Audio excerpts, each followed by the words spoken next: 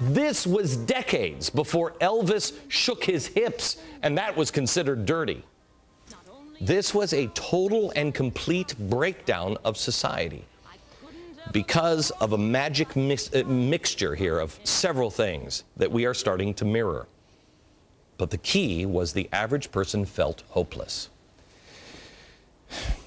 How did that happen? Well, the first thing that happened was they had to destroy faith in Germany. Well, they didn't have to, they just did. Back in World War I, the churches had become a political organ.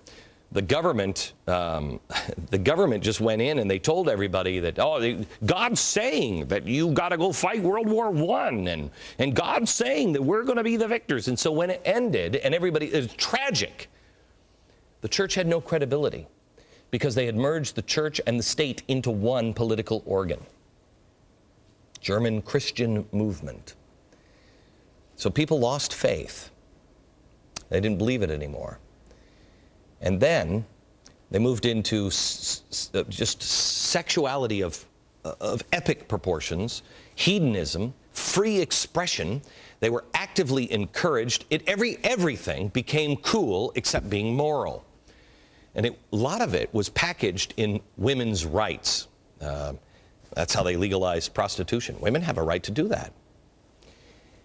And then in the cabaret, they started to openly mock religion, faith, everything. Everything that society once had considered moral, it had been mocked. It was the time of eat, drink, and be merry, for tomorrow we may all die. Another story that came up recently that I read, and I've been holding it because it bothered me. And until I saw the Atlanta story, I, I, I didn't know how I was going to share it with you. I was reminded of the Weimar Cabaret when I read a review from a Seattle paper of a theater show written by two, I think, two women in Seattle. And the show was mocking religion. Um, Tea Party goers, me, uh, uh, really everything, everything. And um, I read this review, and here's how the reviewer summed up my character. The prophet, because they're making fun of me and my religious views, the prophet, Glenn Beck, withdrew from public life as a TV soldier to the upper reaches of an empty high rise. He then continued, while cackling with glee as Beck wept. This is the, this is the guy who's the reporter on this. Cackling with glee as Beck wept. I worried briefly that this was Weimar cabaret and laughter at his neurotic displays might come to seem, in retrospect, ill advised. Maybe I'm wrong, and I hope I am. But I have to tell you, my track record of direction has been really pretty good in the last five years. I'm asking you, as a nation, as a citizen, look at the facts and see the direction we're headed. I showed you the economic news at the beginning of the program. I, I, I started with a plane crash. Uh, a state rep says, I wish Sarah Palin would have died. Had you even heard of that, really? Where's the outrage? Where's the shame? The shame. When you look at the economic news, isn't it at least worth considering what we've been talking about here? When I'm proven wrong, when Obama spends us to safety, then all the shows are making fun of me continually. I will make fun of me too. It will be a happy time. I'll go away.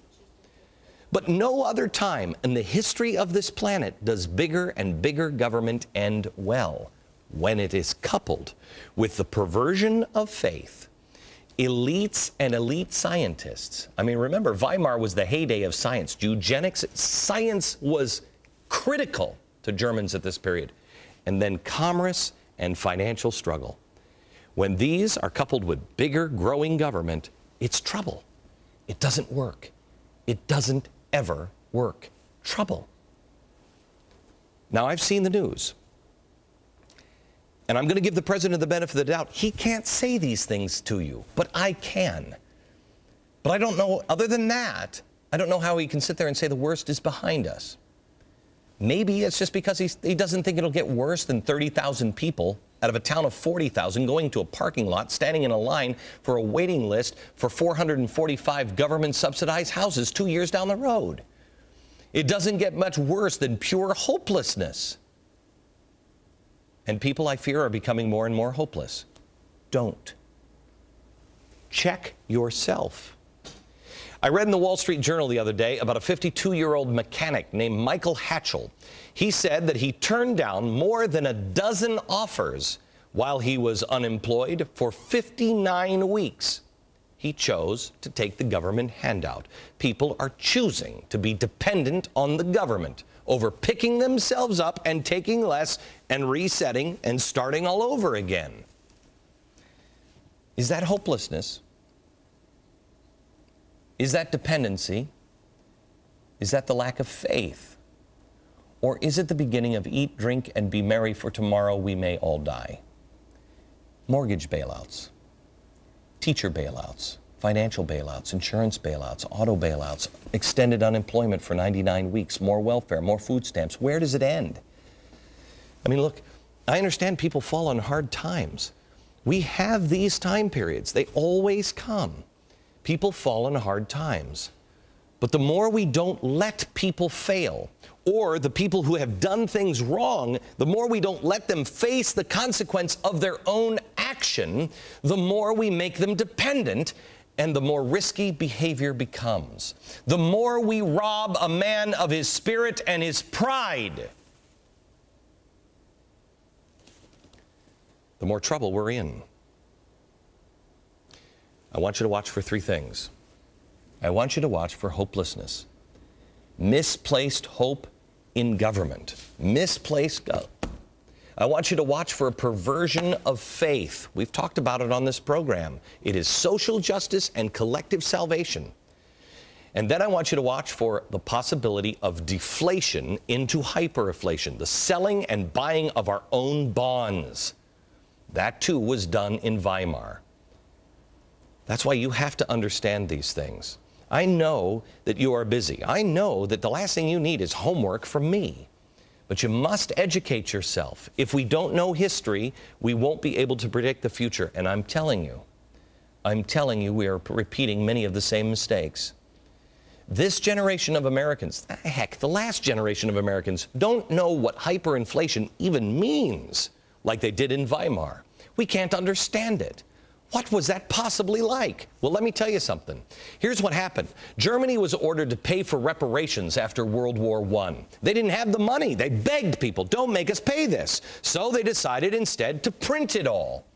Well, when they did that, hyperinflation eventually kicked in. The money inflated so fast that it was almost instantly worthless. People would literally get paid at work. They would pull a big, like, Brinks truck up to the office and they would pay you in cash.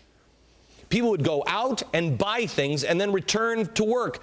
Two, three, four hours later, they would pay you again and you would go out because the prices would rise. One German writer told the story of two women carrying laundry baskets filled with banknotes. A crowd gathered around the store window. They put down the baskets full of money to go look. When they came back, the banknotes, the money, still there, but the baskets were gone. Another German recounts that he stopped into a cafe for a, a cup of coffee. He sat down, noticed the price was 5,000 marks. He sat down, grabbed a paper, drank his coffee, sat there for about an hour reading the paper. When he went to pay the bill, the coffee was now 8,000 marks because the mark had lost that much value in an hour. This, these are bank notes, these are stamps from the Weimar Republic. They put them on the dollars, the marks, because the paper wasn't even worth anything after they started doing this. Then they just started rubber stamping them. One more story on this. An American went over to Germany and he left a dollar tip at a restaurant. It was such a staggering amount to the German waiter that the waiter actually took that dollar home, called a family meeting together to figure out what is the best thing we can do to invest this dollar. America the economic laws do not stop at our shore. We are not immune from hyperinflation or deflation. It's coming. But in our arrogance, we must think that we're immune because we are mirroring the Weimar Republic by monetizing our debt and continuing to spend when we can't afford it. These three paintings over here, these three paintings I painted about a year ago. They, I painted